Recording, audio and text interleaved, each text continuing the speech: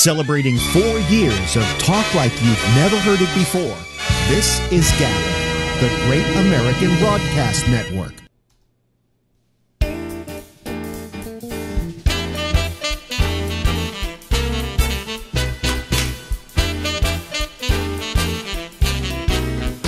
Hey,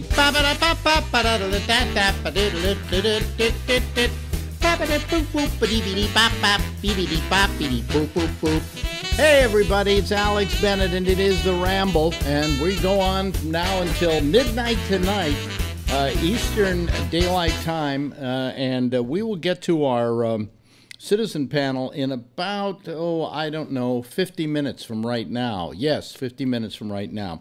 As you know, for the last three weeks, uh, we have been playing a rather long interview that we did with uh, Jack Garfein. Uh, so, you know who Jack Garfein is? Jack Garfein was a very famous Broadway director, motion picture director, uh, teacher at the Actors Studio, uh, has had an illustrious career, which I hope we will get to on some future date because it involves him discovering uh, James Dean, for example, and being the last person to see James Dean alive. All right?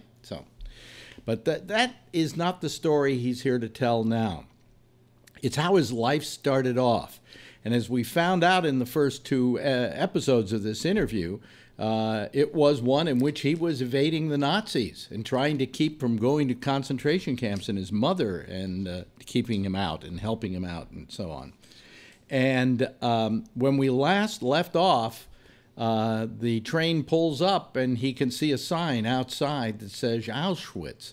Now, this next episode, if you've never heard any of the other episodes, is, is something you absolutely must hear. It's a must hear. And we're going to put it up after the show's over, it's going to be uh, posted just like any of our other shows. And then in a few days, I'm going to post the whole hour and 50 minute interview so that you can pass it on to friends and tell them where they can find it and watch it because it's an important story and it's an important tale to tell with a man I love very much. So, ladies and gentlemen, here now the continuation and the finale 50 minutes worth with Jack Garfein.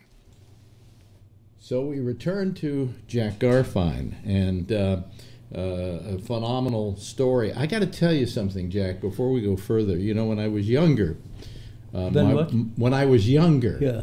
Uh, my my father-in-law and my uh, mother-in-law were both uh, Jews escaping uh, and uh, telling stories, phenomenal stories of heroism and everything around the around a Passover table, and they were Bundists, and um, but you know we'd hear about people who did this and fought in the underground and in Paris and so on.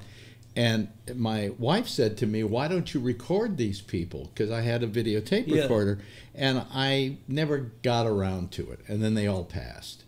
And to this day, I felt kind of guilty that I didn't interview somebody on this. Yeah, yeah. And now I've got you to help me assuage my guilt. Oh, well, great, Alex. Yeah.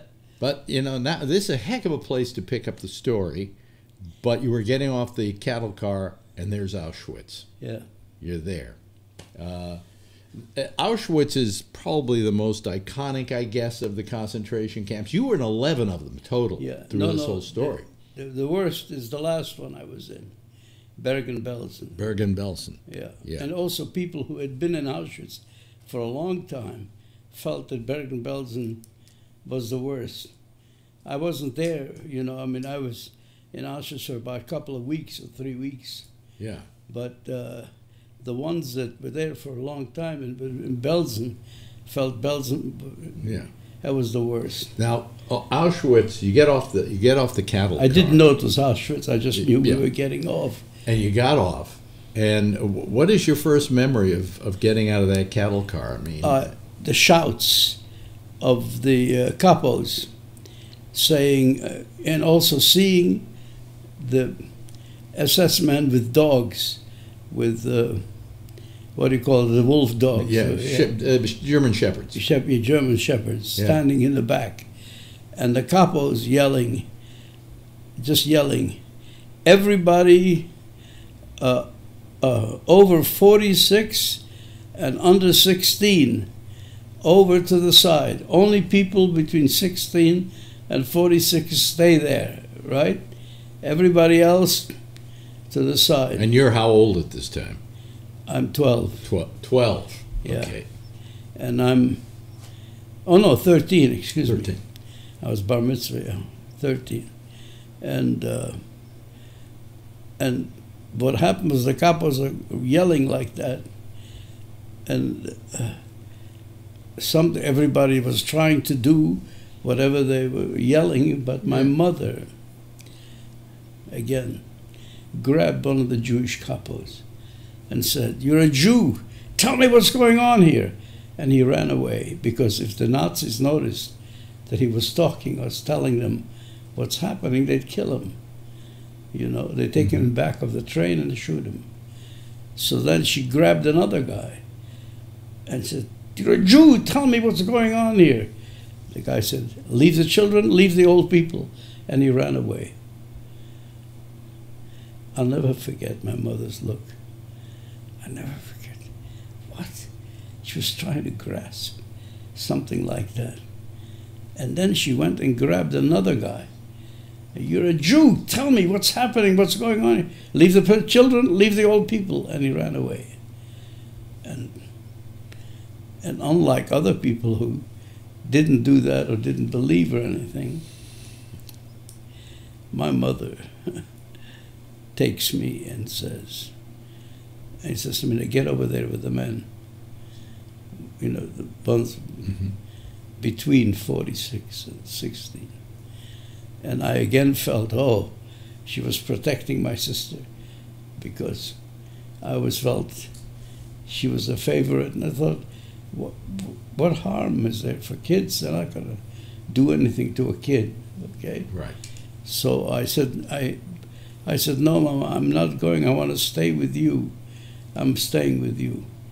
And she then went and pushed me away and said, I hate you. I never wanted to have you. You were born, but I didn't want to have you as a child. I always disliked you and I don't want to see you anymore. Get away from me and don't ever come back here. And pushed me to the men's side. And I looked back at her and I remember my exact thought. I hope she drops dead. Or if not, I'll die and that'll make her really Yeah. feel badly. And then, amazing thing, uh, we stand in line with the men. I stand in line with the men. And again, unlike Hollywood movies, you know, Mengele, the doctor, Mengele. very, he looked at me. Wait a minute, wait a minute, wait. You're in a line. Yeah. I guess Mengele is checking out each of the men. Yeah, yeah. And I come up to him and he looks at me kindly. And he looks and he says, uh, he touches my face like this. Yeah. Touches Yeah. like yeah. this. How old are you? Out of the blue. I don't know where it came from. I said 16. Right? He looked at me like, is that so? When a man behind me, with a stubble of a beard, said, Your Excellency, he and I, this kid and I are famous mosaic artists all over Europe.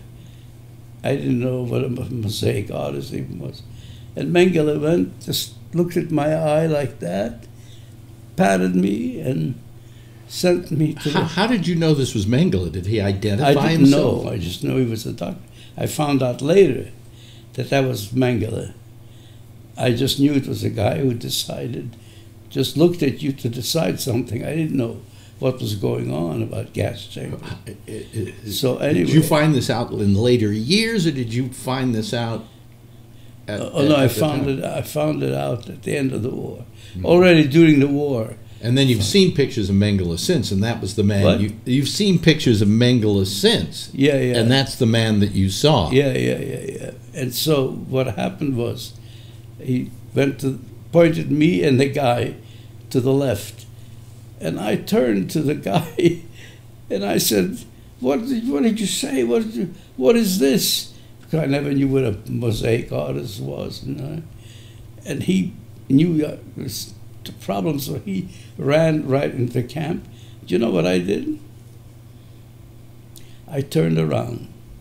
I went back to tell that nice Nazi officer that I lied. I wasn't 16. I was only 13 years old. When a Jewish couple walked over, I said, Where are you going? Where are you going? Oh, I'm sorry. I lied to that German officer and told him, told him I was 16. I'm not 16, I'm 13. He took a stick, hit me over the head, get the hell in there, pushed me into the camp, right? Okay, a couple of things here. Number one, your mother saved your life. About what? Your mother saved Yeah. your life by making, Well, but by kids- doing it in the in my the most horrible way it's she coming up on April 15th. Yeah, So my kids on April 15th always send me a happy birthday. really. Yeah. But she, she literally alienated you to get you to go somewhere else and Yeah, save yeah. your life, Yeah. knowing that she could do nothing about herself, knowing that she could do nothing about your sister. Yeah. Yeah, Yeah, but what happened was Yeah. my cousin, who was 18, a woman, her, she was my, my mother's sister's daughter. So she went, oh, she told me the story when I met her after the war. She said, I went over to your mother. I said, listen, my mother will take care of Hadi, which is my sister. And, and you go with me because I'm alone. And my mother, she said, was about to do that when your sister pulled her hand and said, Don't leave me, mommy. And she looked at me, she, my cousin said, I can't go, I'm not going. I'm staying. yeah. So so and then the second person to save your life was this capo who said, "Don't go back to that guy and tell him that." Yeah, yeah. Right. But now, the Orthodox Jews have a story in, in the Oxford story of the Holocaust. They heard the story. They never talked to me. But the reporter got in touch with me. Said, Did you hear the story? I said, No. This is the story. It's story according to Orthodox Jews is that um, uh, this little boy, Jacob, was online in Auschwitz. And Elijah answers the prayers of a mother, Mm-hmm. and he arrived with a stubble of a beard. And he has a stubble of a beard. And he answers the prayers, and so he saved this little boy. Okay? Mm-hmm. And I thought, well, fine. Leave it to the Orthodox to find a miracle. To find a miracle I got to do with that. Now it's true. I never saw that guy again. Yeah. I tried to see him. I tried to find him. I never found him again. And now, okay. So wait, how many years later? Uh, let's see, thirty years later, my second marriage. You know, forty years. I. Um, what happened is we have a Passover Seder. Yeah. Okay. And um, I lived in Madrid. uh, No, I lived in Paris, and my ex-wife lived in in Madrid, and I had to bring all the stuff from Paris. They still didn't have those things, you know. So I Mhm. brought matzahs, wine, everything. We set up a seder, and my ex-wife says, "Oh my God, Jack, I have no candlesticks."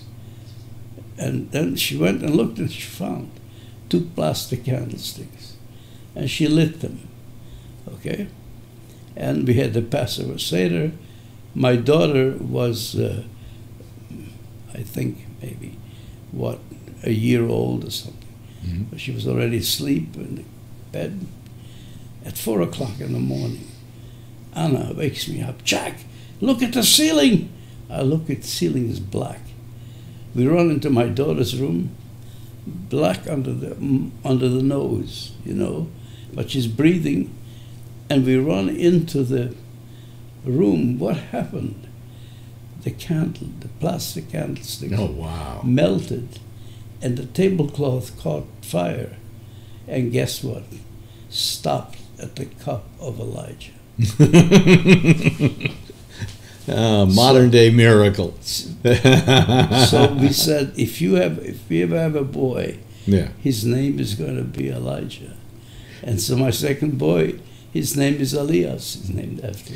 Let's get back to Auschwitz. You were there for two weeks. What? You were at Auschwitz for two weeks. You said. Yeah. And well, the first day was, second day was amazing. I thought my father was dead. Yeah. You know, and I'm and I'm little, so I'm in the front row. And the guy who counts the people and reports back mm-hmm. how many there are comes down the line counting, and as he moves down the line, I recognize it's my father. Wow. He stops in front of me. You know what he said? What did he say? What are you doing here? Because he was a Zionist leader. He worked for the underground. Yeah. He sent the Polish Jews to Palestine, took all sorts of risks. And the reward was that if you were in the underground yeah. and you did that, mm-hmm. your kids would be sent to Palestine wow. to be safe. What happened was that was arranged when the Hungarian Jews found out about it. Mm-hmm. Two kids, rich Jews, bet money. Two kids went out under my name and my sister's name to Palestine. Okay, so uh, when I said to him, and he said, "Is your mother and your sister?" I said, "Yes, they they went to the old age home." Because that's what we were told. Mm-hmm. It was an old age home, and they go to an old age home. And I noticed tears appearing in my father's eyes when the assessment yelled, What is going on there? Because he saw him stopping, you know. And so he went on counting. And then the barracks at night, he took a big risk because you're not allowed to go into. Otherwise, came to see me. And, uh, and, I, and he said he wanted to know about the rest of them. I said, yeah, they all went to the old age home. So he said that he was going to find a way to join me in the transport to go with me. Now, if you did that illegally, and if they found out it was father and son, you were killed. Okay? I knew that, I knew. And I said, no, no, you're not going. But I didn't think of that. I said, no, no, you got to stay here because mother and, and my sister are here. You got to stay here with them and watch them. I'll be fine. I'll, I'll take care of myself, you know. Mm-hmm. And uh, then he came back once more, the night before we were leaving, but before I was, I was take, gonna be taken to a labor camp, you know. Yeah. He came that night, and uh, he said to me, "Now, one thing, Yankush, never cry. No matter what they do to you, don't ever cry." So it went to my head, and I never, no matter what, they beat me, they hit me, so I was fine. Because if you cried and thing, they felt, oh, there's nothing, you know. They'd hit you more. And, uh, and so I was put into a cattle car. And that was the last you saw your father or your mother Yeah. or your sister. And then my best friend, Oscar, es-. I mean, what happened was uh, he arrived in Auschwitz, and after the end of the war, he found out that I was alive. So he came to see me because he ran into my father. And my father said to him, If you ever see Yankush, tell him I haven't had a day of rest since he left. Yankish was your name. And that was it. That was it. That was it. And so where were you off to then? Well, they sent me to a labor camp. And so I had to go out early at 6 o'clock in the morning to work on railroads, building railroads. Mm-hmm. Okay? And then I was transferred from there to another camp, all in the same vicinity, called Merzbachtal. And there they again went out to labor camps. and uh, the commandant decided of the camp to have a doorman be somebody, a kid. Mhm. So he picked me, and uh, I was to open the door and of the camp and greet. And I had a booth, you know, a little booth where I stayed in case it rained. Yeah. And there was a Wehrmacht, not the SS.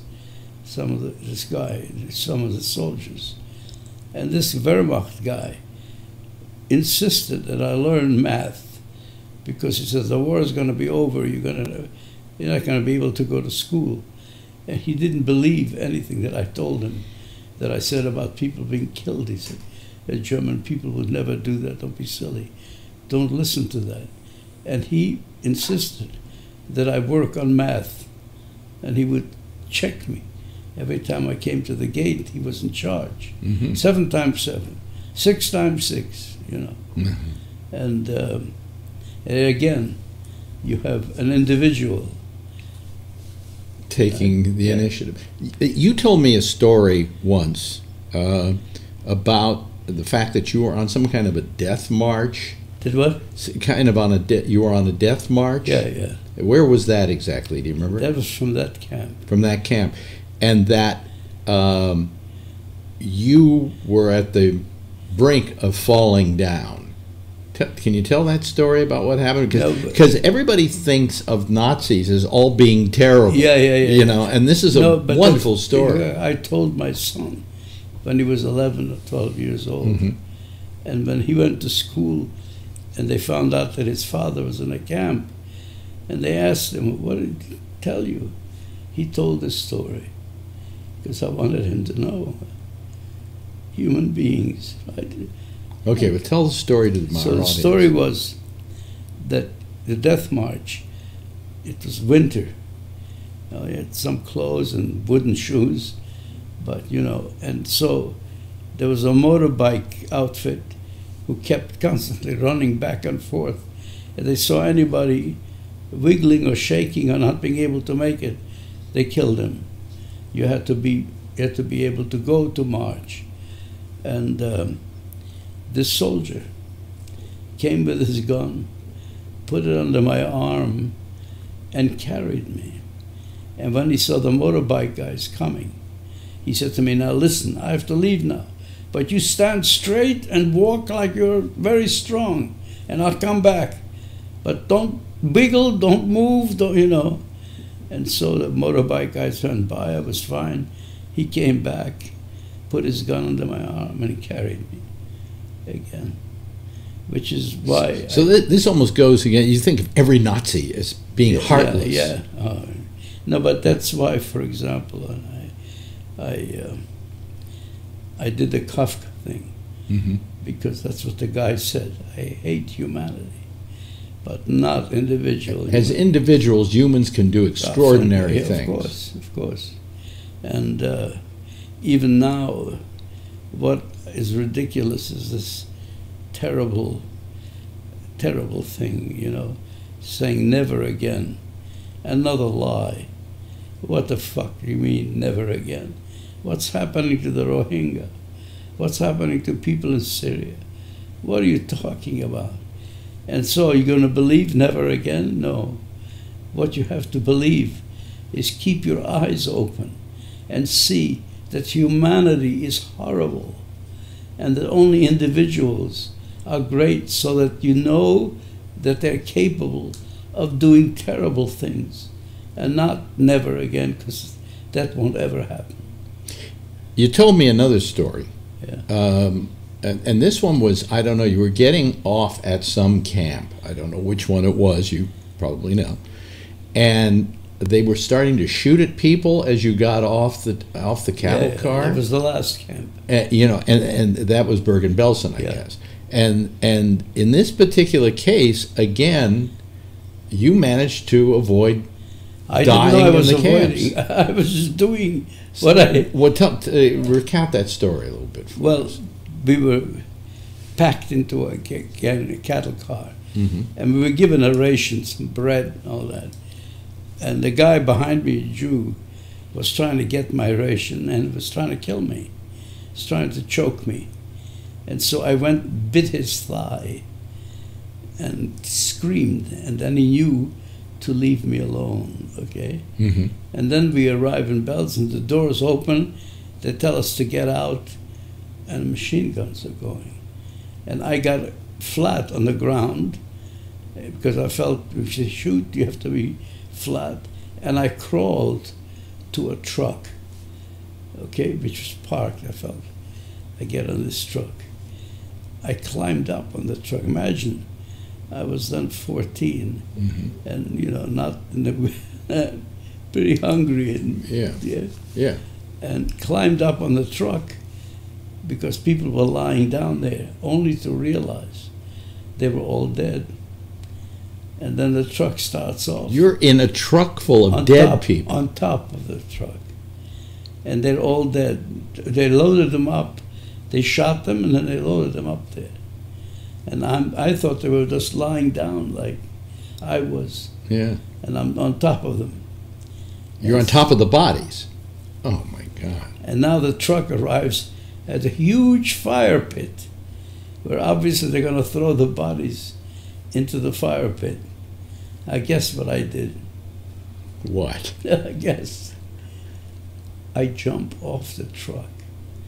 I open the door to the driver's side and I say, Let's go, we got to unload these bodies.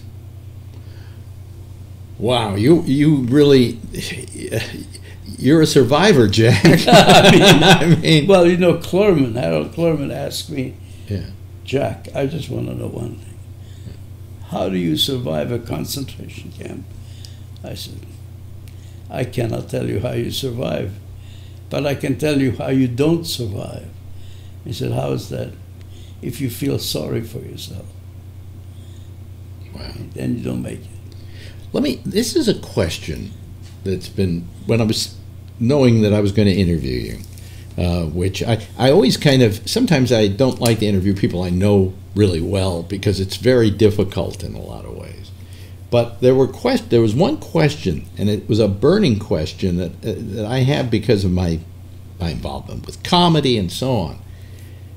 Was there anything in the in your life in the camps where people laughed about something? Oh, sure. I mean, there was humor, wasn't not there? just humor, but dancing and singing. For example, I learned a, a, a song, a Hasidic song from the Hungarian Jews, which to this day, um, uh, I, I, you know, I, I sing it, and uh, it goes like this. Uh, Oi, ihr Rebel, ich steh in Zitter, in mein Herzl brennt a fire. Jach, wel seine Chusedl a gitter, a Chusedl a getrier. Oh, Ra- Rabbi, in my heart burns a fire. I just want to tell you, I'm going to be loyal and true to you in the religion, you know, and So, so in other words, in, in the concentration camps, which we think of as the most dour of circumstances, Yeah. all right, there was dancing, there was singing, there was laughing. yeah. Uh, uh, uh, because you, it, it just nobody ever asked that question, and it's never portrayed. Yeah. you well, know? there's also the guy that heard that I. Uh, he's he's an Italian composer, yeah, and uh, he's done de- devoted to try to find out the songs from the camps, mm-hmm. and he converted to Judaism after he heard a lot of the songs. Someone said to him, "There's this guy. He was a kid, and he remembers a song that one of the kids wrote in the camps. The guy came to Paris. When he heard the song next time, he brought a crew and they filmed me singing the song. And it's now on a DVD in Italy, but now everywhere else they're selling it. So the song there, now this was fascinating story. yeah, So the Germans, what happened was the civilians, we walked through the towns to go to work. So the German people were very upset. They saw kids going to work with shovels and picks. And their old kids wanted to have answers. So they complained about that to the command. And so they decided they had to find a way to get rid of the kids. Mm-hmm. So guess what? What? They announced, because we knew what was going on at that point. There was no kidding around about, you know. So they said that the British decided to exchange German prisoners for Jewish kids in the camps. And to, if you wanted to, you volunteer for it. Most of the kids volunteered from all the camps around. Mm-hmm. And it was all in my camp in Merzbachtal, right? Mhm. And I too felt I joined them, you know. And now they gave us wonderful food, dressed us in nice, good clothes, because, you know, the British should see it. So we believed absolutely that it's going to happen. Eh. But then, the day that we were lined up in the Mhm. square, what happened was soldiers showed up with guns, surrounded us. We thought, well, maybe they have to march us through the town. And they want to, you know. But then an ambulance showed up with three sick people. Now we knew, whoa, we were 612 kids. And we knew ambulance, sick people are going to be exchanged for me. And so the Germans, if, you, if 612 had to go, it couldn't be 613 or 611. So they decided to exchange three kids for the three sick people. And I was with my cousin in the group, but they, I was also, that's the camp where I was the doorman, Mm-hmm. you know. So now the kids knew they were selecting three to take out. They all raised their hands, yelling, Me, me. I thought, well, all right, go back to Auschwitz, I'll see my dad again. I mean, that was my thought. But then the, they picked out two. At the last minute, I raised my hand, and they noticed me. And they, they said, okay, picked me out. My cousin, the rest, one of the last transports taken to Auschwitz. Yeah. Wow. Ah, these are some these are some amazing stories, Jack. Yeah. You know, you you you survived a lot. Um, Yeah, but it's you know, getting tough now. uh, How does it? How's it getting tough? But How's it getting tough? it's a. I, I managed somehow up to now to to suppress the reality like like even on Passover I was thinking about the Egyptians and the Jews were liberated and happy Passover see. This year it was impossible. You didn't have a Passover Yes. that year. My son had a Passover Seder, the whole family, and kids there. I said to Natalia, I don't think I want to go this. She said, No, come on, you gotta, you gotta go. I went. I Let me ask you this though. I broke down. Y- uh, years have passed. You've gone on as maybe in another interview. If we get to do another one with you, if you'll grace us with another interview The at some time. If you grace us with another interview at some time, we can get into your history as a director, as a writer, as a as an artist, uh, uh, and and all the famous people that you mentored and and so on. Uh, and that's an important, very important part of your life. But this part of your life happened before that, and then you had this other period. And now, as you get older, it's bothering you more Yeah. than it bothered you, say, when you were in your 30s or when you were in your 40s or I- 50s. Why is I that? Well, two things. Once, first, the conditioning when you're a kid. Yeah. You don't try to understand what's happening and why it's happening. Mhm. You accept this is what it's supposed to be, it's life. Yeah. And also, you have no ability to understand it. You only know this is what I'm supposed to do. You can't grasp. You haven't got the words or the ways to explain. That's why you, when you're a kid, you cry mama or papa or whatever, but you don't grasp the things.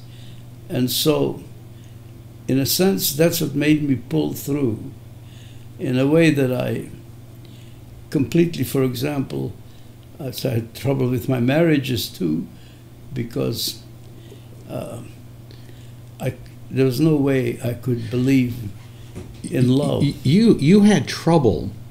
You told me with your mother from the fact that she said I never loved you, I never wanted you, Yeah, and you yeah. went through your entire life believing she Not my did entire life, up to a certain- up to a certain point, but that was more recently. no, no.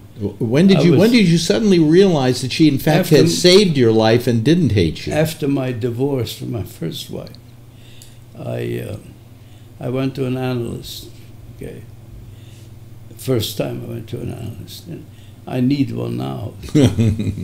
and uh, and when I and what happened was that uh, uh, after um, I was there for I went for five days a week for two years. And uh, at the end, I was leaving, back, going back to New York. hmm And he said to me, So, Mr. Garfein, what have you gotten out of this analysis? I said, Well, what I've gotten, the war is over. You don't, you know, people are kind. You can have a life. I have two kids. He said, Yeah, but Mr. Garfein, what about love and woman? I mean, after all, you came here because your marriage broke up. So, what, what do you, what have you learned? I said, well, uh, let me think about it. so, two weeks later, I said, well, I know you want me to articulate it, but I can't. You have to help me. So he said, well, one thing, Mr. Garfein. You were 13 years old. Your sister was 10. You couldn't save her. You were not responsible. You couldn't save her. Stop being attracted to women you want to save. Flabbergasted. because my first wife was married to a gangster, you know, and she was a Your first wife was the actress Carroll Baker. Yeah, yeah. We she was mention. first in a chorus line, and you know, Mhm. and then she married this guy who was a gangster. She was 19, he was in his 60s. You know, so- And so you felt you were saving her. and I did say, But you coming to terms with your mother. so wait. So then he said, he said, and uh, what happened, Jack? He said, what about um, your mother? He said, "Be- what happened was that I said, uh, I mean, be very clear about this. Um, oh, yeah. Yeah, yeah. So, about three years ago, four years ago, the Film Forum gave me a tribute here Mm-hmm. for my film work. Mm-hmm. And in the audience was a friend of mine, Jack, who became a famous analyst in New York. And, uh, and I only met him before that, a few years before. But he went through the camps, right? Mm-hmm. And he came to the theater. And I told the story I just told you. Yeah.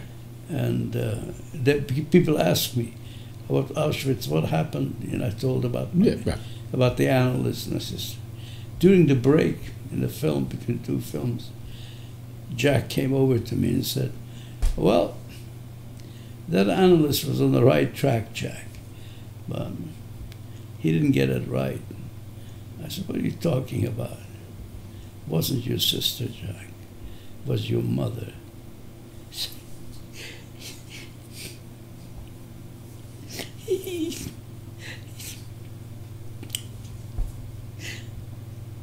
It's okay, Jack, if you don't want to talk about it. It's because you couldn't save her. Not the sister.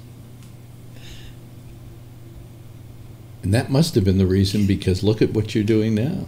You know, look at how you're reacting to it.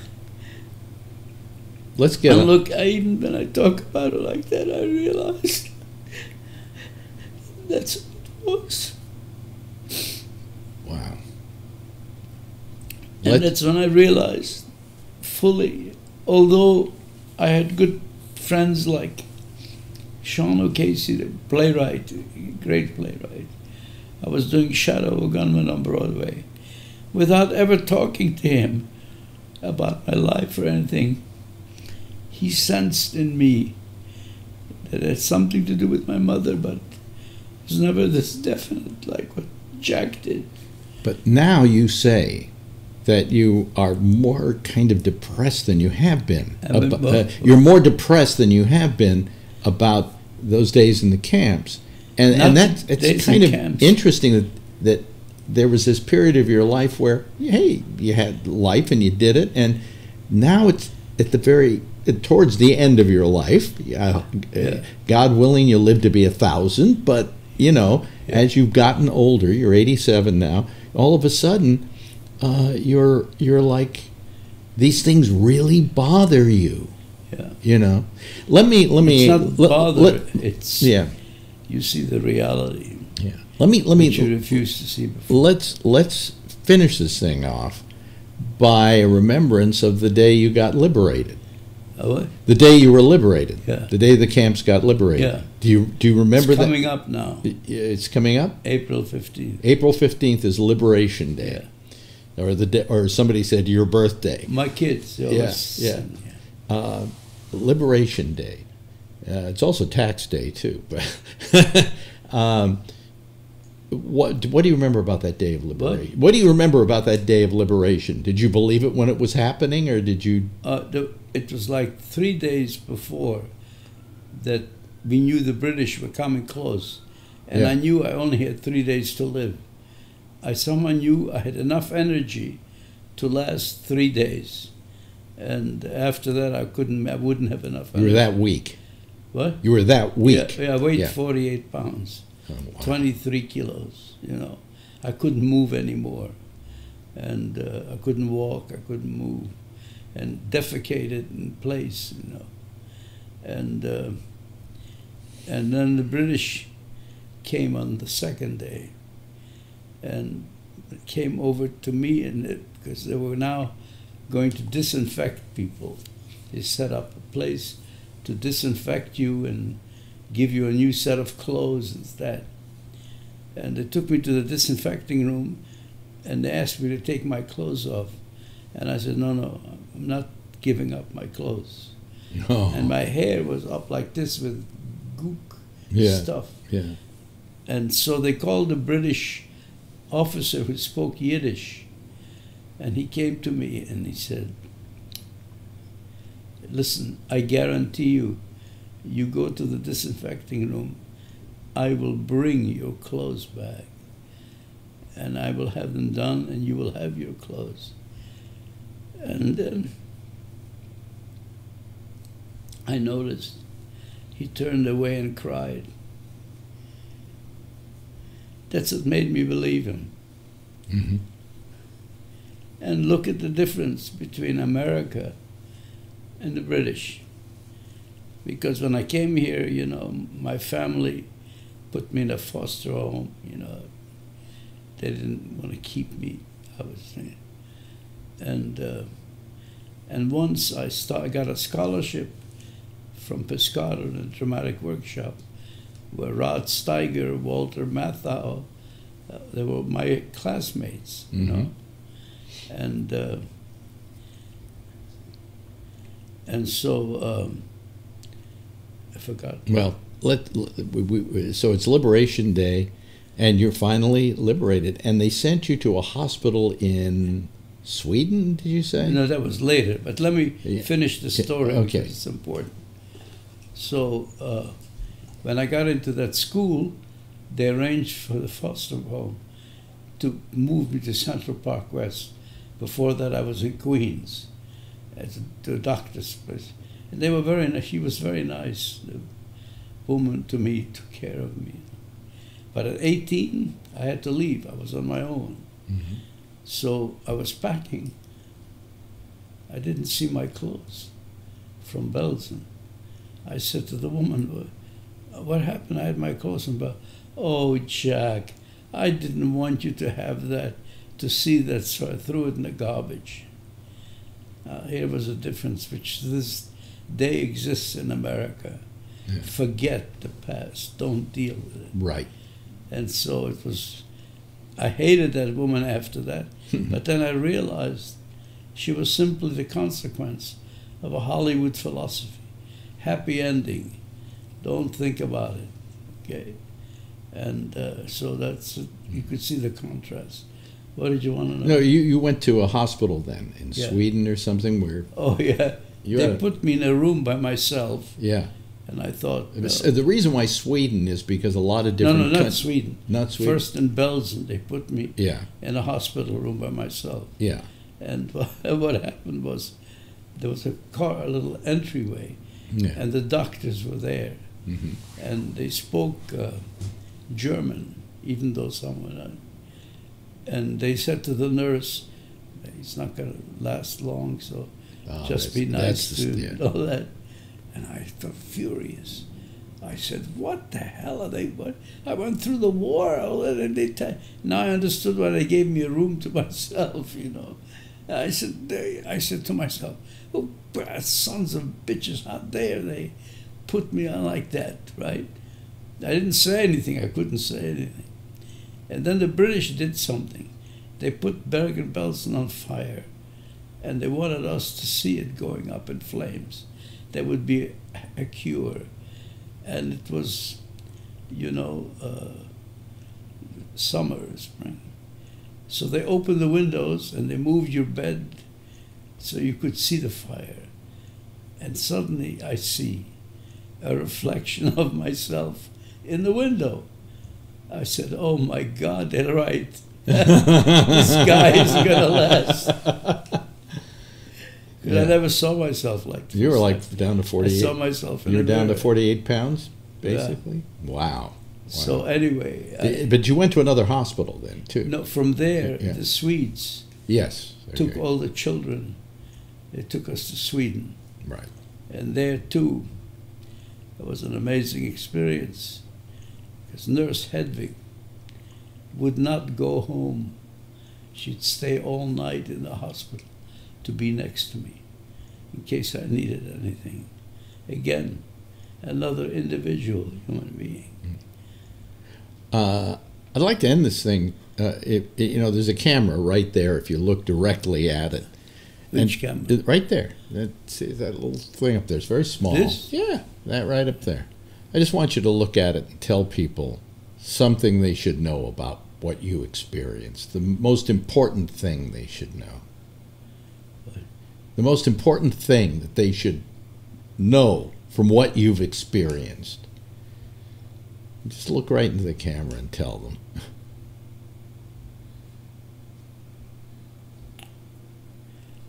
Well, you have to know that life is cruel. And that's why the Jews, when they drink, they, even though they don't understand it, they say l'chaim to life. Mhm. But it's not dancing and singing Hollywood style. It's like saying, I take you on. I take you on. Go ahead. Be, do what you want. Here, I drink to you. And I would say that it's not even anything you think of consciously. You just know that that you don't let the cruelty get you down. And this has been, you know, spectacular. This has been just, uh, I, I, I I think it's an important story people needed to hear. And uh, there's more to your life. This is just the beginning of it. The rest of your life is phenomenal. and the things that you did, and the people you knew, and the places you've been. And I hope that some other time you can come back here and we can do that part of the show Sure, because sure. that's the happier part. Maybe not the marriages, but the, the, Yeah. the, the rest. Well, at the time I thought the marriages because, yeah. in a sense, I was totally screwed up about love. So, We'll get into that. Thank you so much, Jack. very well. Jack Garfein. Okay.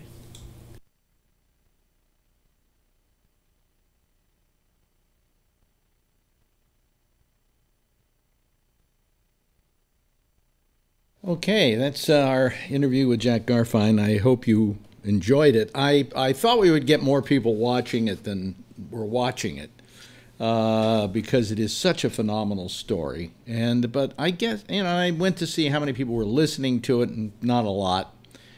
Uh, I think we're very um, what's the word I'm looking for? We're very uh, uh um, uncaring of the past, and um, I don't know. I don't. I you know. I, I, I at one point here, I was getting kind of mad when I was seeing. I thought there'd be a lot more people listening to it. Uh, and I'm saying to myself, well, maybe they think, oh, well, you know, he'll post it afterwards and I can go watch it then. Well, maybe they said that, maybe they didn't. I don't know if I'm going to post this thing. I, I think that, uh, you know, the people who saw it, saw it. The people who heard it, heard it. It is a gift from me to you, and uh, only made more precious by the fact that you won't be able to hear it anywhere else. Um, that being said, I don't, I don't know. Come midnight, I may have a change of heart. I do know that if you want to see the full interview in its entirety, the video, uh, you simply, if you have a Roku, can go to Gabnet TV. Gabnet TV. Uh, uh, subscribe to that channel. Uh, put the, put it on your Roku, and when you go there, there is the whole interview on Gabnet TV in its entirety no other part of the show or whatever, just the interview from beginning to end. Uh, there were some breaks that we took, and uh, those are, are you are very obvious when you watch it. But uh, as to whether I'm even going to post this show tonight, I have I have no idea. Right now, I'm so pissed off. I I don't want to, you know. Uh, so I don't know. But anyway, uh, it's time to go to our citizens panel, which is always very interesting. If anybody calls because uh, again uh, tonight we went a long time without going to the uh, to the um, uh, to Skype. So we'll just see if anybody's interested in talking either about the interview or anything else. You know, um, let me see here. There we go. I want to see here uh, recent things. Let me get rid of those. Um, and uh, I have to. Um, have a lot of work to do here whenever I do this show, especially when I since I'm doing the video. And I try to do it so transparently that it's not a, a major problem. Anyway, the lines are open. The Skype lines are open. And we'd love to hear from you.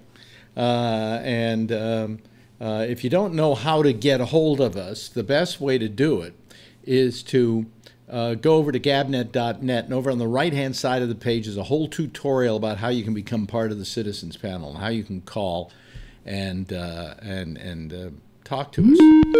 Oh, well, let's see here. Ah, okay. Uh, our first caller up this evening is Jeff Stein. Hello, Jeff. How are you? I am fine. Yeah, yeah. So, uh, did you hear the interview? Uh, wait a minute. Your mic is is turned off for some reason. Is, is there a reason for that? Huh. What? No, can't hear you. Bingo. Okay. Oh, there you go. Yeah. Anyway. Okay. You were, as you were going to say. I saw it. I, I watched it tonight, and um, I wasn't able to get it on at the beginning. Yeah. Sometimes it takes uh, a few minutes. Yeah. So, uh, but I listened to most of it. Yeah. Uh, in spite of it, and, and it was quite dramatic, of course. Yeah. As you saw, and um, I don't know. It's very emotional stuff. Just just to listen to it. Yeah, it is. It absolutely is. And and uh, but it, you you hear some things that you know. The question I always wanted to ask, and I got a chance to ask it, was, did you ever laugh?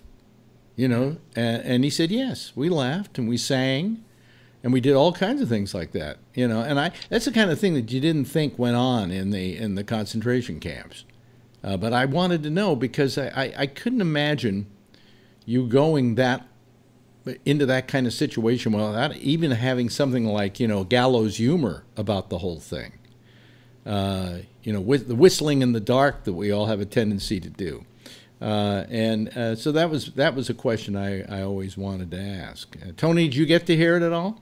Yeah, I heard the last 30 minutes. I mean, he was down to 47 pounds. That's sad. I mean, Yeah, well, it weighs considerably more. Now, he's a short guy to begin with. Um, you know, I was thinking about what you said. I mean, I don't, that's like I don't even know how they were able to just just even stay focused on anything. I mean, just to know everybody was dying around that. I mean, you can't even fathom it really. yeah, You know, people like just total bloodlines gone. It's I don't know. You know, yeah. I would have just lost my mind. I think they, you know, that's what I'm saying. You know, that's why it's probably so hard for him to talk. I don't think I'd ever be able to talk about that again.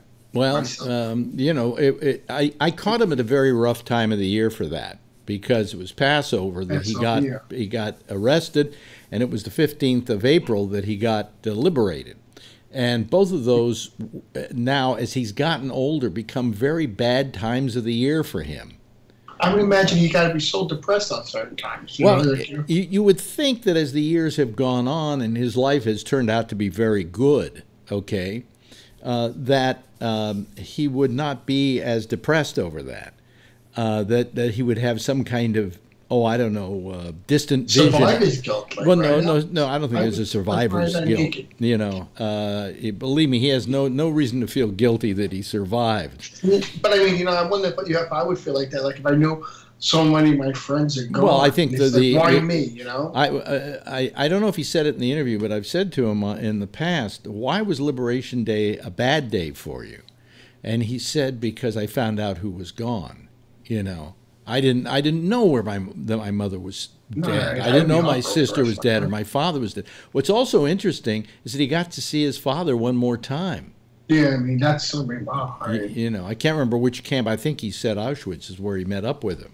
I mean, it's, it's it's it's a great interview. It's just sad. I was actually, you know, I was crying because how can you not? It's like you know, you Yeah. miss people when they're gone normally, Yeah, but to totally have everything gone from you, it's got to be like I don't even know. You know, yeah, yeah, yeah, yeah. it's Hi, such a hard thing to live with. I mean, he's a very brave man. I have to say that. Well, I don't know. I don't know if bravery is the term you use. Uh, you know, you have no choice in the matter. I don't know if I'd be able to move on, Alex. I don't know. Well, a I lot. think I'd go into a shell. Like, well, a, a lot of people. uh, We've had a lot of survivors of, of the concentration camps who have gone on and had very decent lives, and if, feel that living a good life is a testament to those who went before. Yes, Jeff. Well, the ones that I, I know, and it was only two people, and uh, who are survivors. There aren't And- there aren't many of them left. Let's mention. no, that. they're not. They're not here anymore. They're, they're all deceased at this point. Yeah. But uh, th- they were. Um, they didn't really want to talk about it. Yeah. It was not for uh, common discussions. Let's put it that way. They, they didn't want to talk about it. That's Yeah. all there is to it. I think um, um, I, I don't know. I, I, I, I only got to know Jack in the last year or so, and and so I don't know what how he was about this subject back in the day.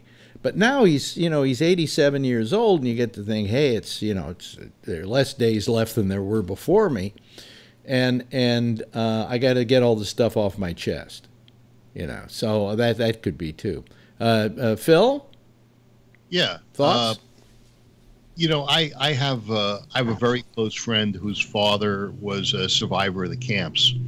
Uh, he was in two camps, and uh, he um, By the way, uh, Jack was in 11 total.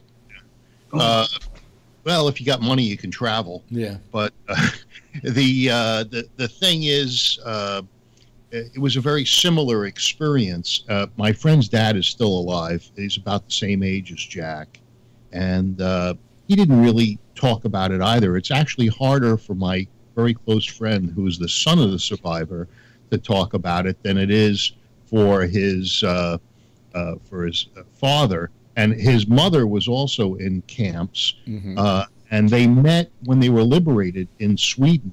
Yeah, you told us this the other night. Yeah, well, it was a long time ago, but uh, anyway, you know, it's it's it's amazing what people what people can do to people. You know, when he said that he climbed up on that truck and it was uh, full of dead bodies, and, and and that's you know one way he survived. But this this life was probably normal for for him at that time. You know, that was what reality was. That's what normalcy was.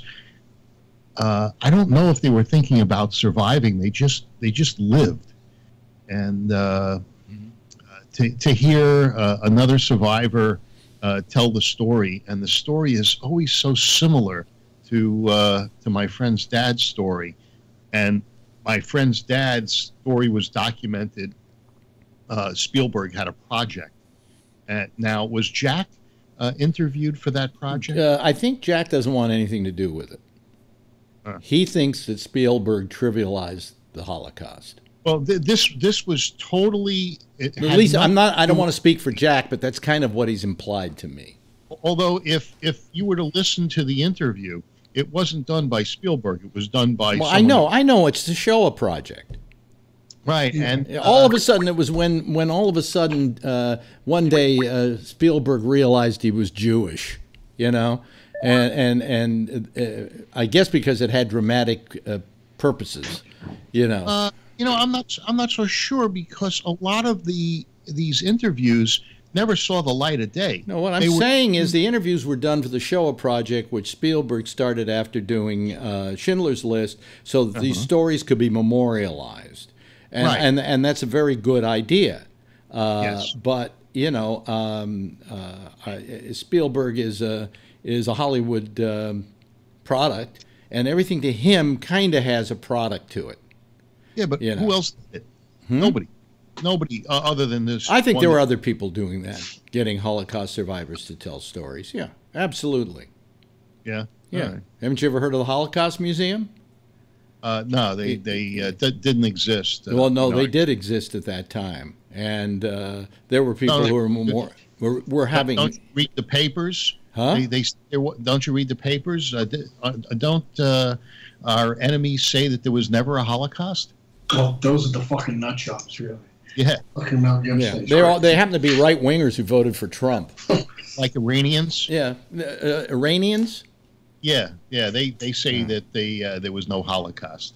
How can they even say that he's psychos? Uh, you know, they, they say it because they hate.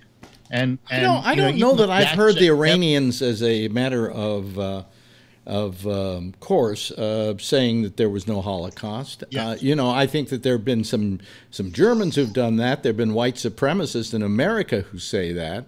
Well, the Um, Iranians uh, say it, and they say it because they call for the destruction of Israel and the oh God, here we go again.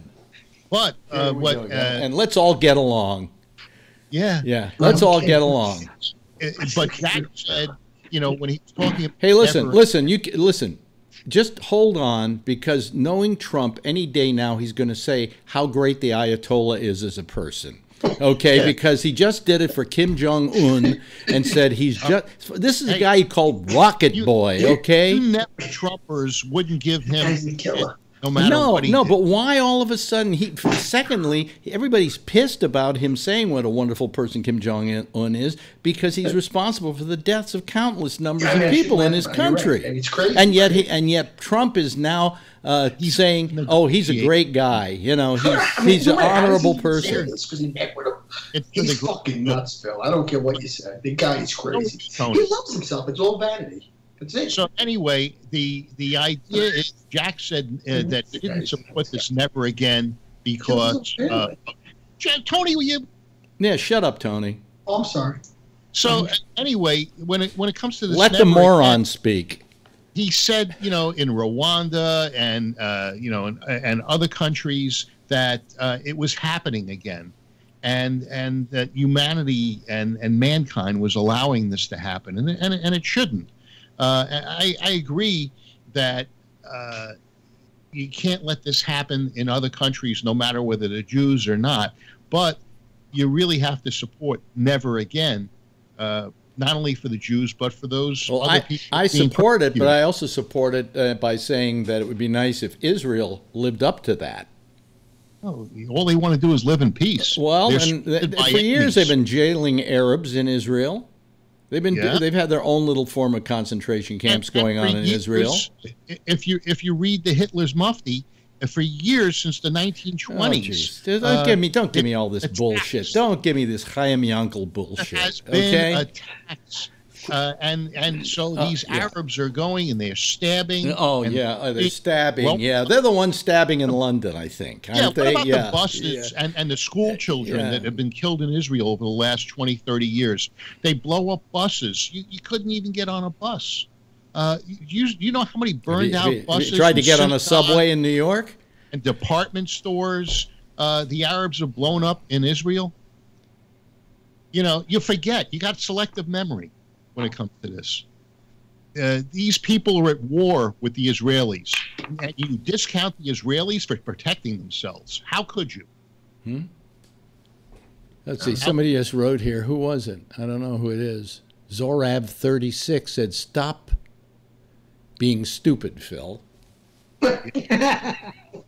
Well, I, Zorad just showed me how ignorant he really is. Oh, okay. well, I'm just reading what somebody wrote here. just because he wrote it doesn't mean it's true. Yeah. You know, Yeah, yeah. Uh, so anyway, so anyway, uh, the uh, the uh, the Iranians will be great. Uh, the leaders of, of, of uh, Iran will be great people very soon in the eyes of Donald Trump. As soon as they say something nice about him. Thank- thanks for putting those words in his mouth. Well, I'm putting the word, not putting the words in his mouth about what he said about Kim Jong Un just the other day. Kim Jong Un comes to the table and and and joins the world of civilized But people. all of a sudden, this is in a matter of a couple of weeks that he's suddenly an honorable human being who can be trusted. so you you want him to negotiate with somebody? No, he- but I that- don't think I don't think you call wonderful a person who's responsible for the deaths of hundreds upon hundreds of his own people at his hand. know what he has up his sleeve. No, Uh, all I'm saying, do you think that a person, uh, uh, do you think that a person like Kim Jong Un, who we know ki- killed his uncle by uh, literally obliterating him by shooting him with a cannon? Okay, uh, that's just a good example, and the hundreds of other people that have died as a result of being against. Hold on a second, against his regime should in any way, by the president of the United States, be called an honorable person. Look, if if they we don't, Don't try to excuse it, Phil. Why don't you say that for once Trump's full of shit? I don't think so because if we don't arrive at peace with this madman, Well, how about Iran? We should do the same thing with Iran. Iran wants to build an atomic bomb. Oh, they can't. They can't. They aren't building an atomic bomb. They are. They've stopped building atomic bombs, and the only way they're going to start again is if we get rid of that treaty, because then they have no treaty to abide by. Well, they got a treaty with everybody else except the United States. Well, it, it, it'll it'll it'll go to hell if the United States isn't part of it. Doesn't have to be part of it. The logic on the part of Trump is really stupid. I think uh, the uh, French Prime Minister today said it best that, you know, we have to take the treaty we currently have and just add to it if you're unhappy with uh, that there isn't enough bite in it. Okay. The Iranians say that they're not going to add to it. They said, "Hey, they signed the treaty. That's it. That's the deal." Well, you know, all I'm saying is uh, it would be a, a big miscalculation on our part to pull out of that because what we want to do is at least we've got some assurances of on-site inspections and things All like we've got that. is kicking yes, the can. yes, the. Renee. Well, yeah, and he's kicking the can up the road with Kim Jong Un, who we're going to be sold out to. Anyway, Renee. So, did anybody watch uh, Macron's speech? No. No. Uh, it, uh, to the Congress. Yeah. Uh, So, So I looked at CNN, and CNN talked about it like briefly, but then they talked about Melania's big night and what Melania was wearing, and Melania and the First Lady of France, blah, blah, blah, blah, blah. I go over to BBC.com, and they pointed out every part of Macron's speech that trumped over Trump. He was mouthing off to Trump big time, and we didn't put anything on CNN.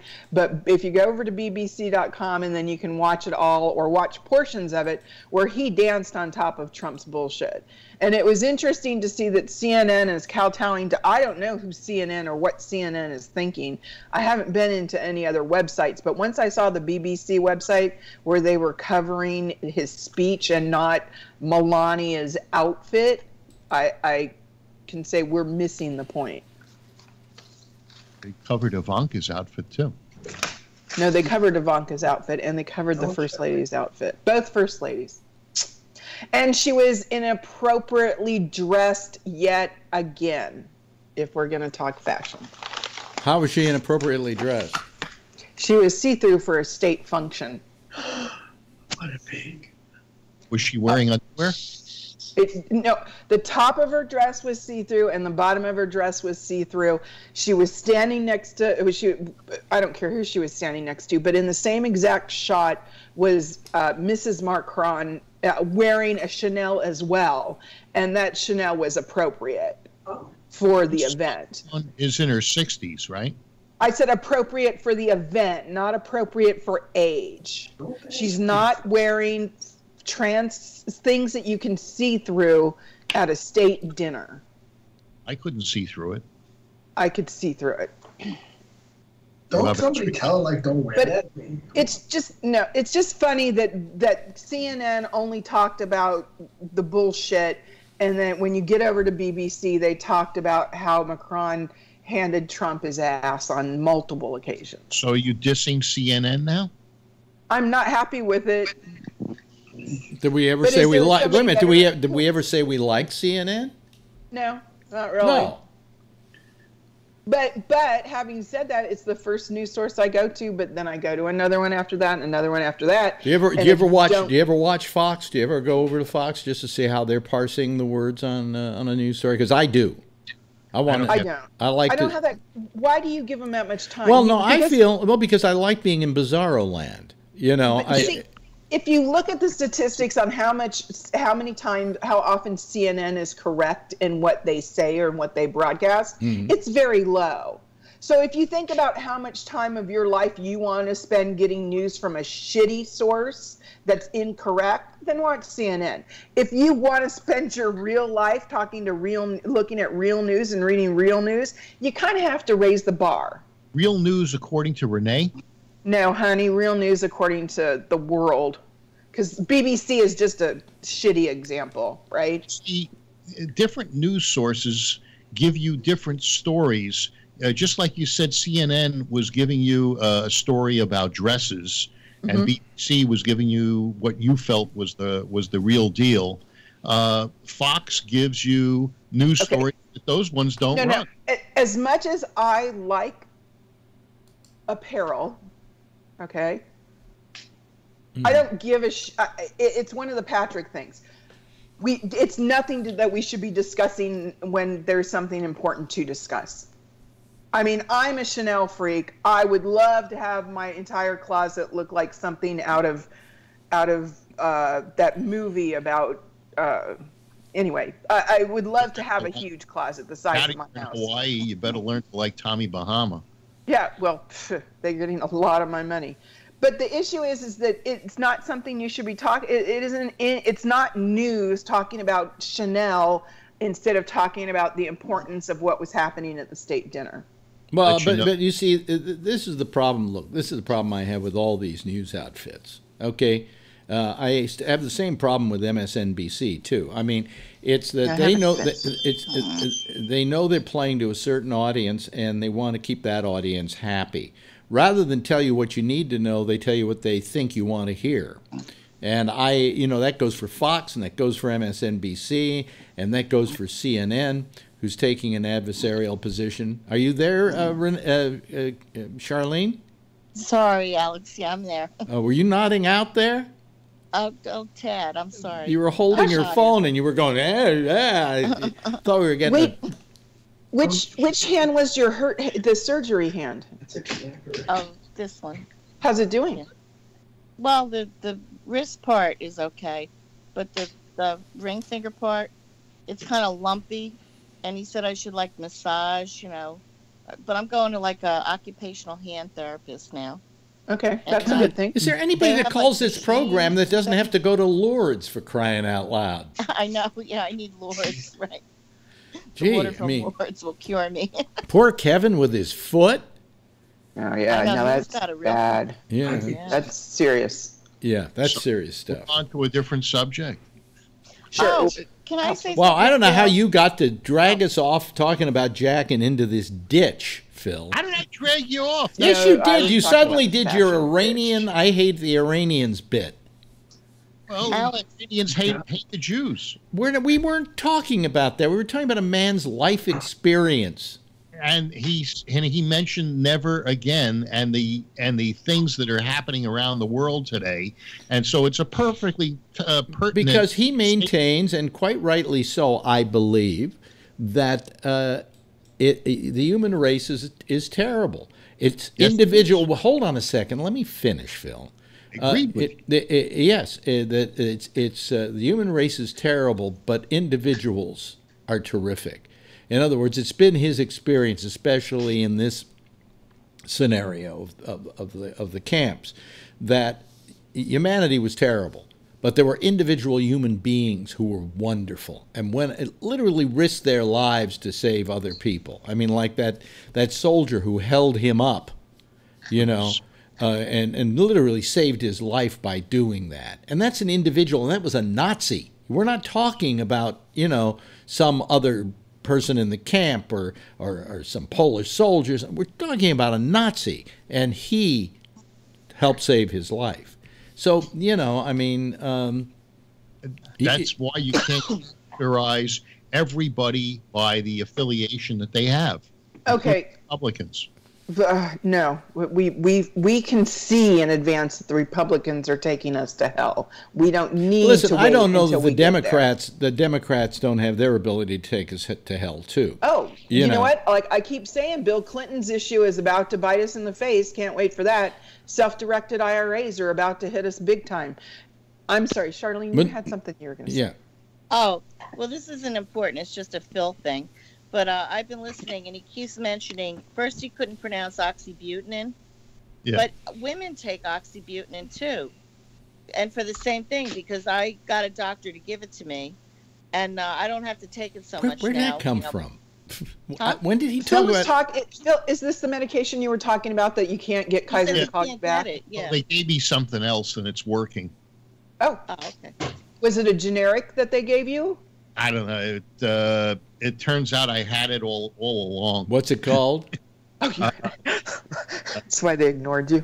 Uh, it starts with an S. Uh, let me let me look at his note. I, I took one tonight. It's working. So, So you don't Charlene, need to do like I think it's called Stop P, isn't it? Yeah. Stop it, right? Charlene, did you use it and you liked it? Well, it's bad for your kidneys and all this, but I mean, I think it might have helped a little. But uh, there was other stuff that happened, and you know, now I stopped taking it because I had a surgery and it, I had I had to like drain Yeah. fluid. Okay, well, here we like, go I'm taking that to hold Uh, the fluid in. I better stop right. taking it. I think I think it's called Sanctura. S A N C T U R A. Oh, Never, heard, of that. that one. Uh, that's that's what they gave me. Small. I can swallow it.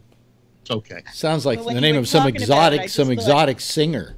Yeah, Sanctura Women sings. take it as well, so it's like uh, you know anybody, male, female, you know. Yeah. Okay. All right. All right. Enough with the Sorry, enough with the was off track. medicine. We One, had one the- more thing oh, for the waiting God. room. What? Uh, are, uh, Charlene, are you using your Oh, CPAP? no, no, no, no more. No more. Oh, Okay. CPAP is important. Well, that's okay. Yeah, I got a new one. Uh, I gave up on it, and they hate me because I don't want. well, to you know, you know get really something. I I snort a lot, and I don't snore anymore. So With your Trying to CPAP lose machine? weight. no, Or wi- with losing weight? losing fifty-five pounds. Yeah, that that that'll help. That, But some people who snore all the time, that isn't uh, w- losing weight isn't going to help them not snore. It's the throat structure. right. Uh, Okay, I have some more boring stuff that I won't mention about, but but Alex, you know, you said you look good. I think you look really good. I don't think you lose, you know, need to lose that much more. Well, I, I actually. I gained three pounds. I gained uh, a whole bunch, uh, some weight in the last couple of days, and then in one day I took off three pounds. And the way I did it was, it turned out that the night that the time that I gained that weight, I had ribs, and I guess it Chinese food. It reta- no, it retained water. From the from the salt. uh, And in one yeah, day I lost see I, lost three pounds. You know. I could do that. Yeah. Yeah, I so, can see that. Uh, and we always have that discussion after we eat Chinese food. How do your wedding rings fit? Well, they don't. that's inflammation from MSG. But that must be Alex why you're you're good because one pound and you notice and everything. Well, 'Cause I, I really I, I, no. If I had a job, I wouldn't have these things to get depressed about. I'd have some something to do that, to occupy my time. You know. Right, right. Jeff, are you bored in retirement? Sometimes. Okay. I'm bored. Yeah, sometimes. but I mean, But all there's a I'm, lot of things I do. all I'm saying, I'm tired. I'm kind of tired of watching the news. To be honest with you, I I just find it, I I. It just it's boring. It's just boring and it's tedious and it's it's uh, I, I I really don't it's getting to the point where I don't give a shit. I can't do anything about Trump. The only person that can do something about Trump is maybe the people that are going after him like Mueller and so on. But, you know, uh, oh gee, I left my tea in the other room. Hmm, okay. Yeah, Giuliani's go, going to go after Mueller. Yeah, I saw it, Giuliani join the ranks. That's so Oh, embarrassing. yeah. Yeah, well, in any day now they'll find out stuff about Giuliani. Giuliani. Yeah. Yeah. boy, if he's got some hookers and P Oh, tapes behind Alex. him, I'm pretty sure. Alex, Yeah. um, uh, Giuliani's wife is leaving him. Yeah, I know. Yeah. I know. Oh, Number Did your three. friend? Uh, oh no, that was the, the other guy, the cop guy. That Hold, your hold friend on a second. said Talk talk to each other. I want to get my tea.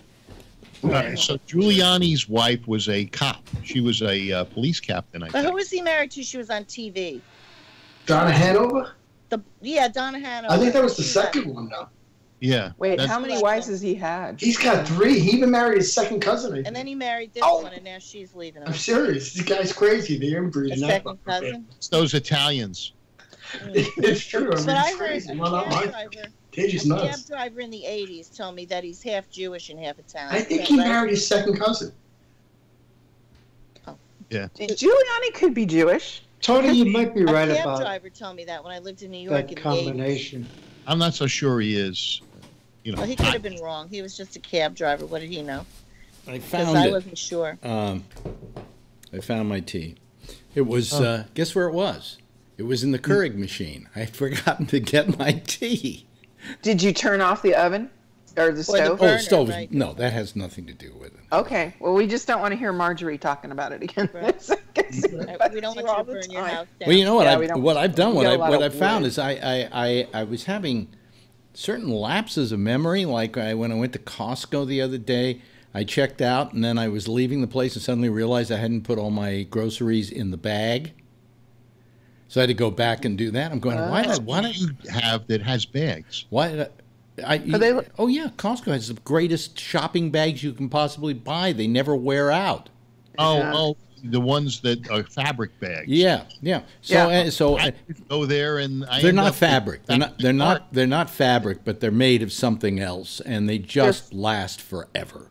Right, they're fabric on the outside with an inside insulated area so that you can buy ice and put it in. No, that, no, that's in. not the one either. That's not the one. No, You're talking about one, the ones this that one fold just down. with handles. Just it has handles and oh, it must be the fold down. yeah. thing. And the thing is, I finally when I throw them out, I throw them out because they start to smell because all the juice and everything that's gotten in there over the years.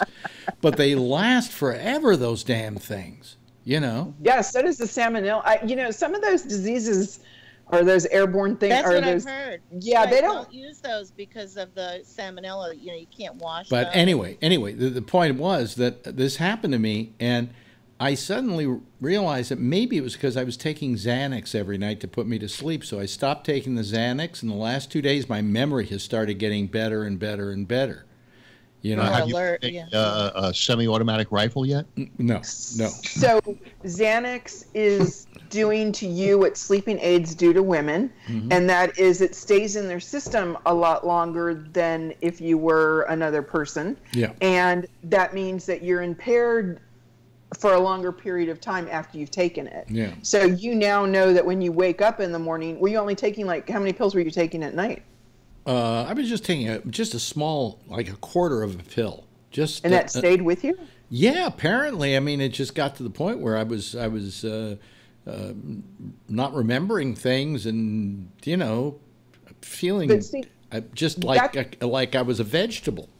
That's so good to know. That's yeah, good to so know. uh, so you know, I mean, I'll take it every now and then, but not not uh, most of the time, not as much as I was. I'm trying to just if I can't go to sleep, I don't go to sleep. Big deal, So- you know.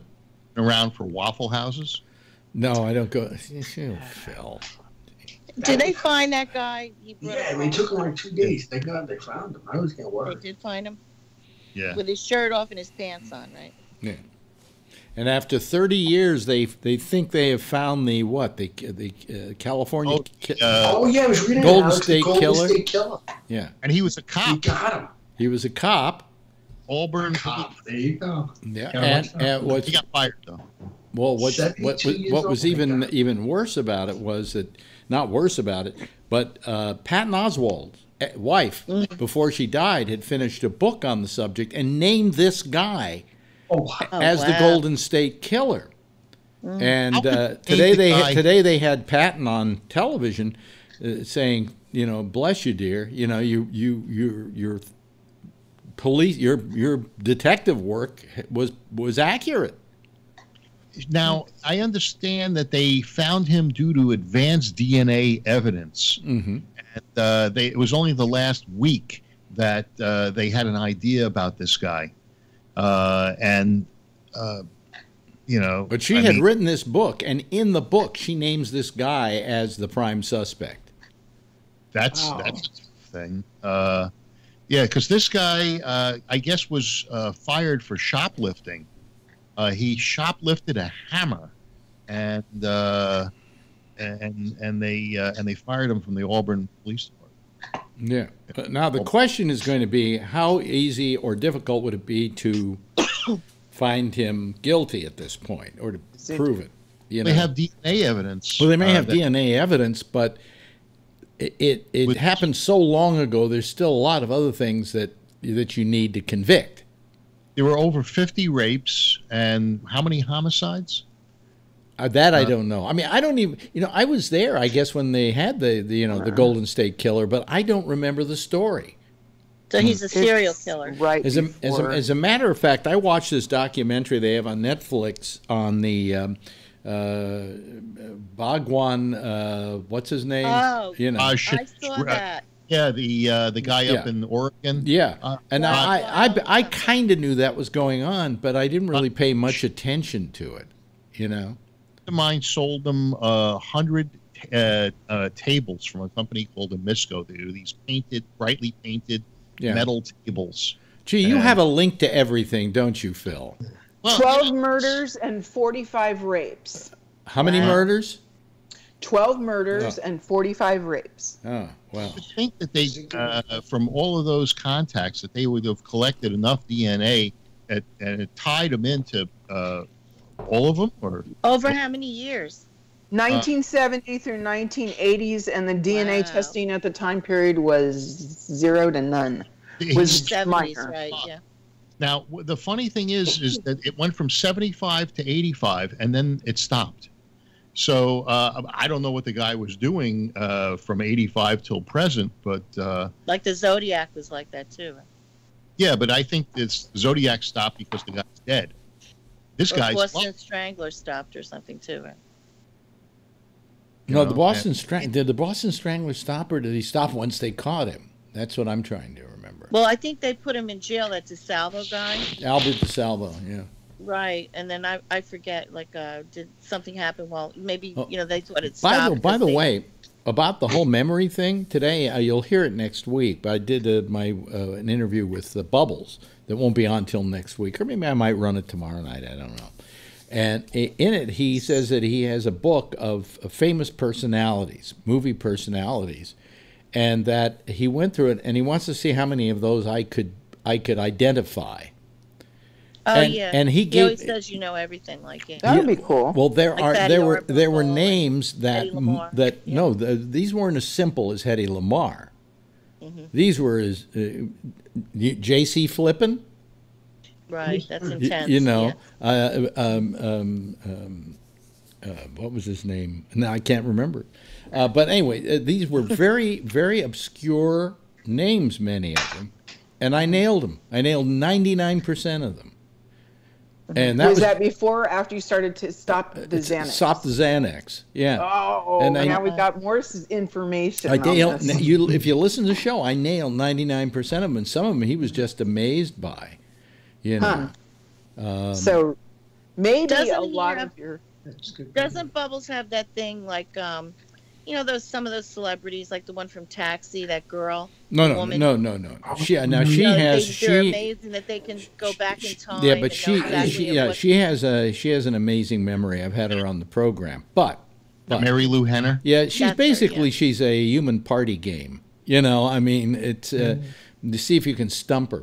But no, So- but Bubbles Bubbles is Bubbles is not as he. What he can do is he remembers dates. Uh, he he can remember. If I say to him, uh, July thirty first, uh, uh, nineteen fifty six. What day was it on? He could tell me immediately what day it was. There's- that's- Marilu does that. Yeah. Yeah, I don't know. I don't know what it is and how they But- do it, but it's but it's a trick. No, it's not a trick. Well, no. Then there, there's the other part that isn't a trick, in which he can actually uh, tell you uh, uh, certain things that happen on that day to him. Same thing with Marilu Henner. Uh, he I can. forget what they call that, but 60 Minutes had a whole bunch of people that were like that. Well, she was one of them that was on there. Right. Yeah, yeah. Uh, but it's you know it's not it, it, it there is a method to how he does it, but it's it's kind of um, Yeah, weird, you know. So whatever, and fast. He's good at it. huh? He's good at doing it. No, You know, well, but uh, he's he's capable of doing it. I mean, he has the ability to do do it and re- remember uh, certain things that happen to him on certain certain days. You know, so whatever. Anyway, uh, let me see here. So where were we? Uh, let's see here. The president has a has a good sense of judgment when it comes to people he wants to hire. This guy. Uh, who he wants uh, to head up? What is it? The VA? yay. Yeah, a really good choice. Gee, what a He's- wonderful, Yeah, doctor, what a wonderful choice. Yeah, he- He'll- he- because he he'll give all those soldiers free prescriptions. Now he's And- being railroaded. There is no proof to those oh, accusations. Oh, oh, oh, Phil, Are- Phil, are- Phil, are- Phil, Phil. They're all baseless. They say he he got drunk at a party and then literally demolished a government car. Seriously, Hey, within wait a minute. minute. That's Yeah. not no. That's not an inference. That's on the record, Phil. Uh, well, That's be a shitty record. is is he's been vetted Government car, you bring it back, it's been demolished. You ask what happened. I crashed it. Then you check his breath and he's drunk. You have a somewhat of an idea of what has gone on. No, it, it could have been that he backed into somebody's fender too. You know, That's it. and, and, and What a great you know, judge! What a great judge of character. And Rudy Giuliani's going to be another one. You know, he's lucky he's not getting Giuliani vetted for anything because Giuliani would not pass the sniff test. Yeah. Oh, uh, No, oh, you man, agreed with that. You agreed no with test. that, Phil. Hmm? You agreed with that about Giuliani. He wouldn't pass the Hi, sniff Kevin. test. test. I like Giuliani. You know, I've met him twice, uh, and uh, he's a great He, he seems to Didn't be you have to pay to meet him, though, Phil? You had to very. pay. You had to pay to meet him. Yeah, Somebody paid to meet him, but I I got I got the free ride. Yeah, he seems to me to be very entertaining. So he's more like the clown in the outfit. he, than he it's is- I'll tell you the trouble with Giuliani is that I constantly have the feeling when I look at Giuliani, there's some kind of food in his teeth. you know, Uh, he just has that look about him. Right. Hi, No, Ke- I can't get over the glass. I mean, my glasses. hi, Kevin. Are How are but that you? one- How are you? It's it's it's Alex waving at my at my friends here. See, I have to do this every now and then because I paid uh, a lot of money for this new camera, and I think it looks pretty damn good, doesn't it? Yeah. Oh, Alex. Not the know, one you're not the I one. was you going had- to talk to you about this. Uh, the emperor has no clothes. What? When you had a girlfriend on comes to this Friday, you could really tell the difference, you know, when, when the split screen was on. Yeah.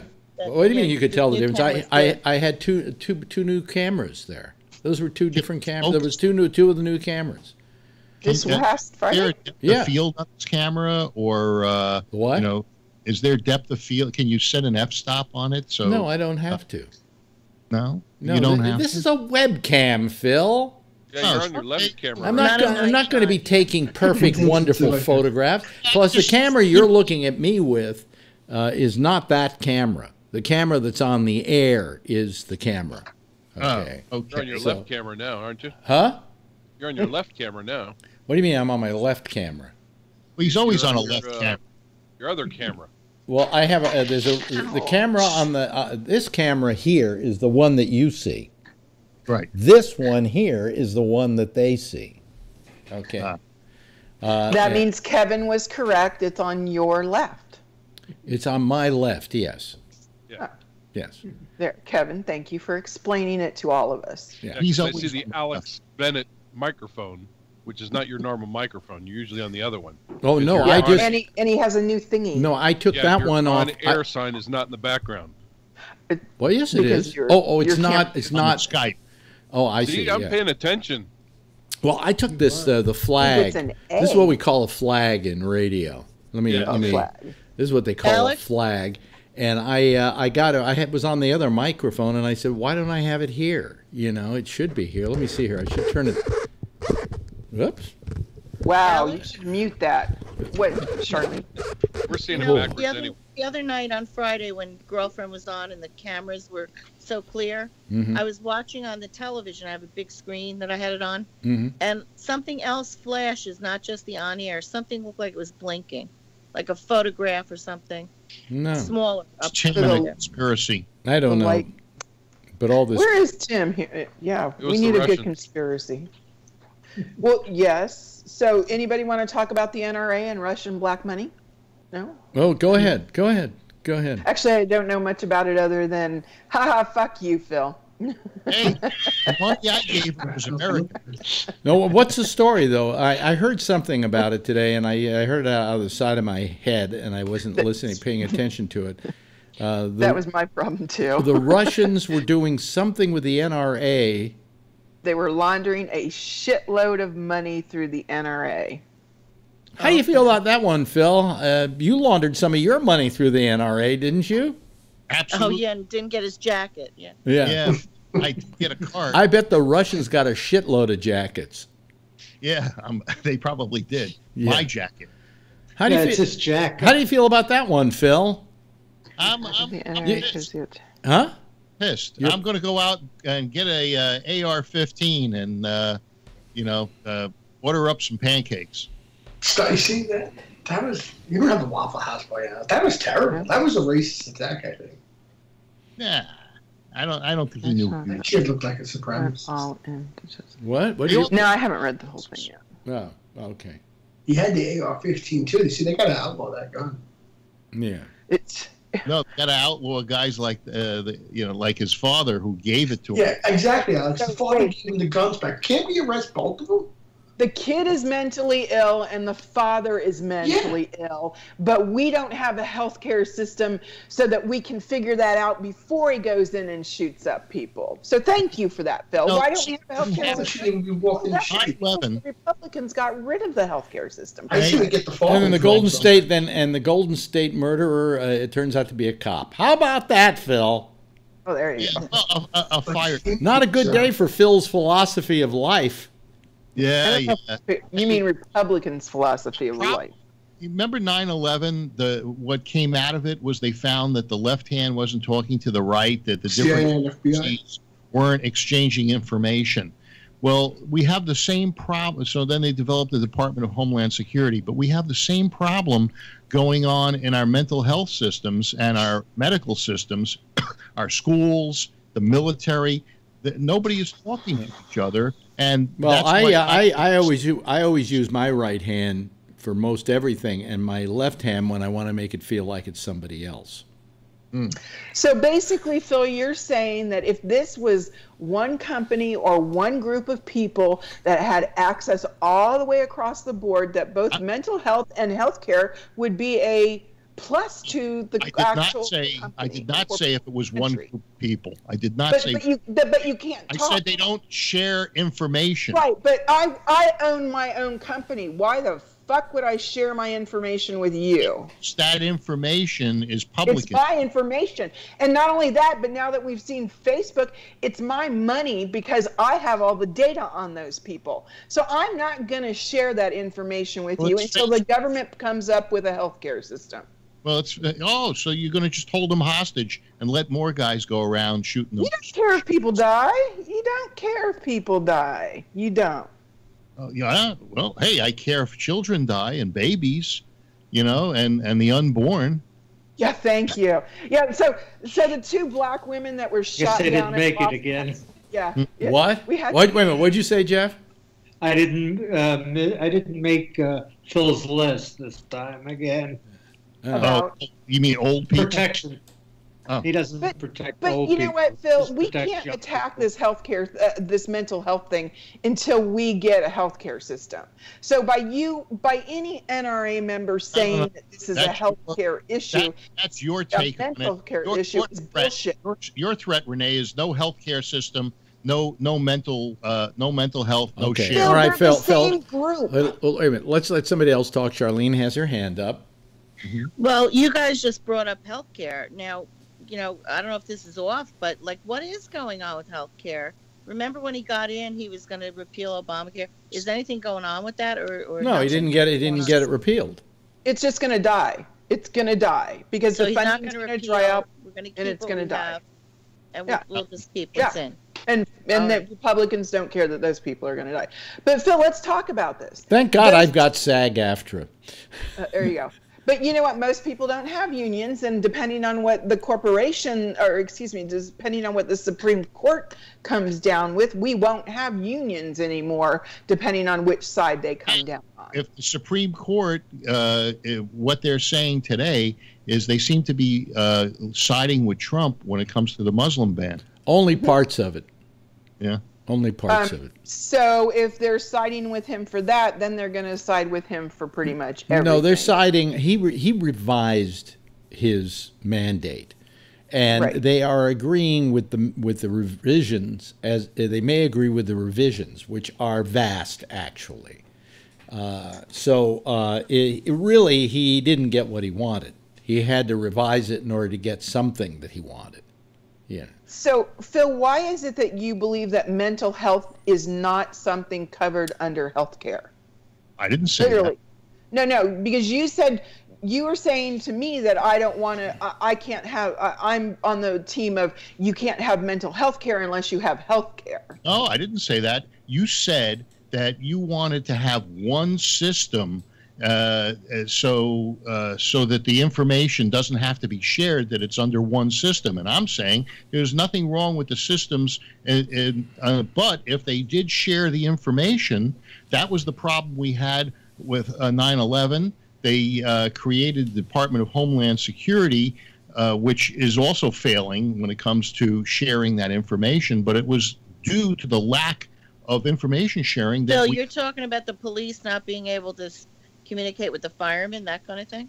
no, Uh, I'm he's talking about the FBI Yeah, and the CIA. not communicating with the. oh, Uh, CIA. Okay, I, I know. not What you even mean. not the CIA. I, I don't know uh, what department it is. But if it's a private company, why is it that you think that they should ex- uh, they should turn over But private information? It's, it's the uh, president's. Um, uh, what do they call it? Secret Service, a private company. No, what are you talking? A United States government entity? What are we? How did we get here? Because that's what I'm talking about. What? talking about the military. I'm talking about the Secret Service. Now, the kid who shot up the uh, the uh, Waffle House. Waffle House, he was arrested by the Secret Service making threats. Oh, at and the White trying House. Right. Get into the White House. You mean that How- tragic Waffle House situation you made a joke about earlier? Well, it's Yeah. been 48 hours now. He can joke. Oh, okay. Yeah, exactly. The time limit's over. If, if you've ever had the food at the Waffle House, it was an improvement when the guy shot it up. Well, that the Okay, we're back into. I think that the, there's a three day limit on that joke. So uh, you well, know, uh, the YouTube lady was she not the person who was pushing cabbage as like the greatest healthcare idea since cabbage was invented? too. You know, all these guys are nuts. Well, well, yeah. But the point is, is we don't have we don't have any way of gauging this, do we, Phil? Uh, We have no way of finding out who in the United States is stable and who isn't stable right. prior to them buying a gun.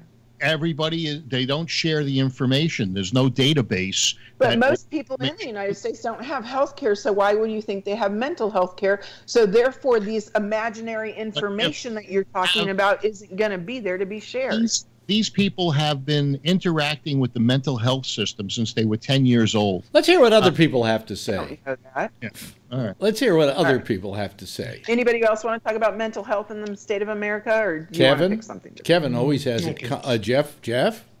Yeah, I think that a lot of my doctors are very aware of some of the mental problems that I have. And I don't know how much that information is limited or Yeah. public, but I know all the doctors at Yale University know all about it because But- their information is totally But is your shared in their system. Uh, let me ask you though: Are your mental problems, Phil? Please, uh, are your mental problems uh, uh, due to the heart problems you've had, and that they've they cause a, a certain amount of depression and so on and so forth, or is this something where you'll go to the Waffle House with a gun? Uh, neither. It's okay. because it's because I was taking a drug called Coumadin, and uh, because of my valve, Mhm. and that Coumadin caused a bleeder in my brain, which ultimately called a stroke. I wanted to know why you were talking to us. That explains it.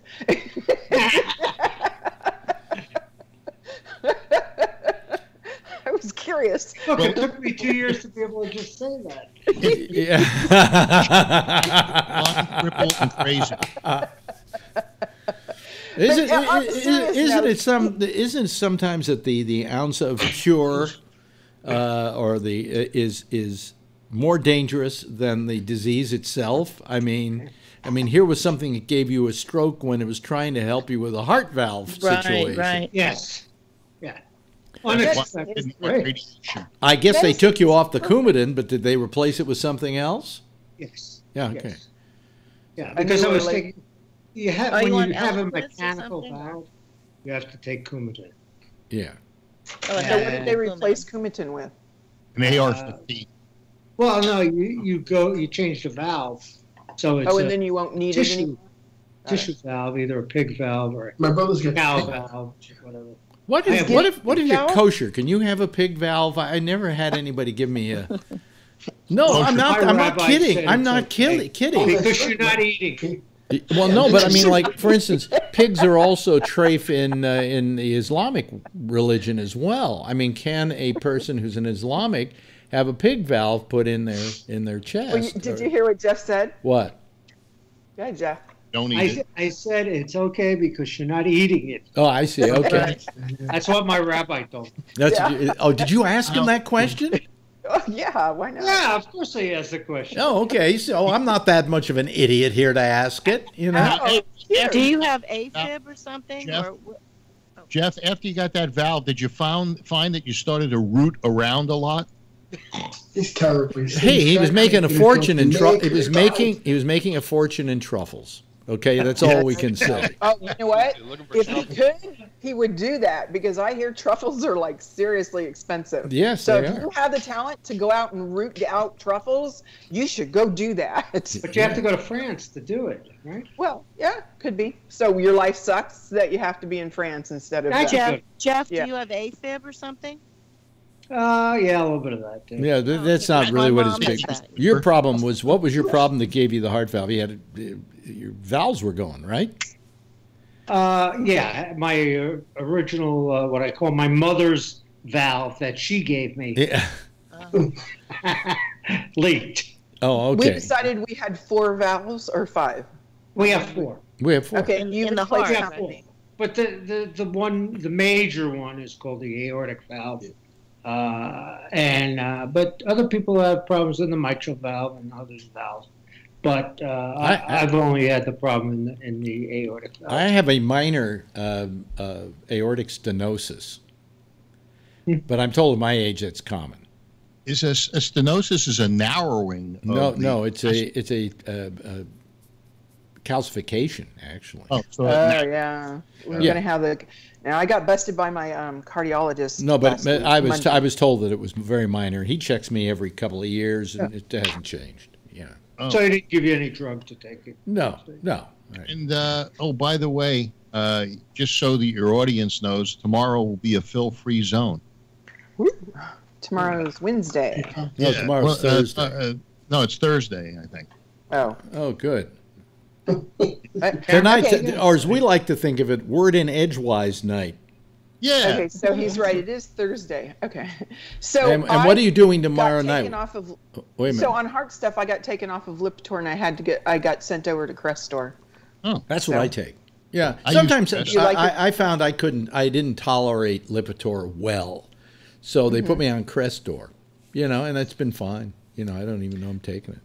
And Um, did you see a major difference between your Lipitor numbers and your Crestor numbers, or were they about the same? Um, my numbers, my number, I get about a year ago. All of a sudden, I mean, I think I told you my my um, um, what do you call it? My numbers just went sky high, and I was on Crestor. Oh, Crestor. you had forgotten to take the pills, right? And, and, well, what I I don't know why or why that happened, but I went back months later and had another blood test, and I was well below what I should be. You know, I mean, I was I was, and it had taken a complete 180 around the other way. And what it was is I suddenly realized. I think one month I forgot to take the Crestor. That I, I put them in this little thing, and that I didn't put the Crestor in there because I found I had an extra bottle of Crestor than I usually had. So what happened Oh. is during that month I didn't take the Crestor. It went sky high, and you know, but uh, no, I now I'm below. All my numbers are below, and even my my good cholesterol went up. So you know, Excellent. you know, I'm in I'm in good uh, good shape. There we go with medicine again. Yeah. Thanks for the information, though. I needed it. Charlene, Shooting Oh, uh, uh, La Santa Cecilia. It's a it's a it's a group, uh, a, a Spanish group that. Uh, You know, they'll probably let you do the first number from backstage, and then you'll be all pissed that you wasted the night and didn't spend it with us. So there. Alex? Yes, I have, yes, I have a Charlotte. waiting room med question. Oh, here we I go. I'm on a high blood pressure. Um, God, what is it? I forget it. What name? You guys is. are too sick for me to hang around. Can I say that oh, right now? real. you know, to be on this show, you got to be blind, cripple, or crazy. Yeah. So or- hang on, let Serious, I need Charlene finish her question. Yeah, I need advice because Okay. I wasn't taking it. Like, do you have to take the blood pressure at the same time every day to regulate? Because I was like vomiting one day, and I said maybe it's because I was off the blood pressure. I took it, you know, I forgot to take I, I don't think it. that would cause vomiting. No. No. Okay. Uh, because I know my cholesterol medication I have to take right before I go to bed because it works better. Is that what? Do you ah. know when your medication works best, Charlene? Well, that's good advice to take the cholesterol at night. Blood pressure. Do you think I should take it at the same time every I have no idea. I take all Is mine. I take all mine at the same time. And what I used That's what I do in the what morning. used to be one just don't- pill that I would take is now seven. you know, slowly every year the doctors have snuck in another one and another one and another one. You know, I take a, I take another pill to help the Crestor even work better. What? Yeah, that's why my Just numbers are so were low. good in the first place. That's- Why were you given another medication? Because, uh, because, no, that was when we suddenly saw it jump up like it did. And then Oh, when I took this to other stuff, I went down. I, I really very low on everything. So you know. Well, there we go. Another show on medicine, folks. That's right. Uh, uh, this time it was Renee's fault. What what is it, Forbin? You wrote. Did Phil know the serial kill murderer, uh, ex cop caught today? Yeah. Did you know him personally? Yeah, it was a uh, Gabnet. Uh, he, he's on Gabnet almost every night. Really? Except and his name is Kevin. I see. Okay.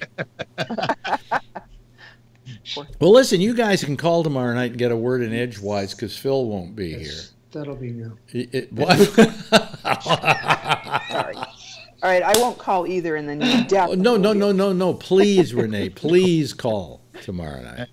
And Yeah, you too, because Phil Tony. filibusters. Yeah. It You gives two- you a chance to uh, put out your propaganda without anyone saying anything uh, uh, to the contrary. Propaganda. Well, see, if they have an intelligent comment about facts, then please say it because I'm not always right. Matter of fact, I'm not that great at Well, being I right. used to So say, as I, as I used to say on radio, which was unusual for about it. For a talk show host, is I said, you know, don't take everything I say as being the God's honest truth. I could be wrong, and no talk show host ever says that. I could be wrong. Phil never says it. Nah, I'm never wrong. Of course, he's never wrong. Thanks, Phil. I'm right. Have a good time taking pictures of people doing the flamenco or whatever that thing is going to be. Uh, uh, Tony, good talking to you. No dog tonight. What'd you do? Kill him? Uh, sleeping behind you. Uh, oh, I see. shame on She's you. on that bed. Uh, shame on me. Shame What? on you, Renee. Shame on you. Wasting another two hours on this program. Uh, yeah, uh, thank you, Renee. Hope we see you tomorrow night. I'll, I'll need people tomorrow night because Phil isn't going to be there. Uh, uh, uh, same thing with you, Jeff, but I can count on you tomorrow night. Charlie, give us a call tomorrow night. Kevin, I want you here tomorrow night, okay? Hey, thank All you right. for uh, playing the uh, interview tonight. It was uh, it was excellent. Well, I'll have to determine whether I'm going to put it up or not. I don't know. I'm just a little mad at the reception of it. But Put it up. Yeah. Put it up. Put it up. All right, they're ganging up on me. Anyway, I. I, what it would be nice if all you people did was uh, was give a wave goodbye to our folks out there and uh, say goodbye. Yes, ladies and gentlemen, that's our citizen panel for tonight. They uh, let me get rid of them and let me close down Skype here because I have to close down Skype so the next show can use it. And the next show is the intersection with Jack and Amy, which is over most of this GabNet. Uh, tomorrow night it's uh, Damian Chaplin at 9:30, and then uh, again at uh, oh Connections tonight at one o'clock. I forgot to mention that. T- uh, then tomorrow night uh, at 10 o'clock Eastern Time, Daylight Time, we'll be back again. Same time, same station in life. And in the meantime, if you see her, tell her I love her. Okay? Bye.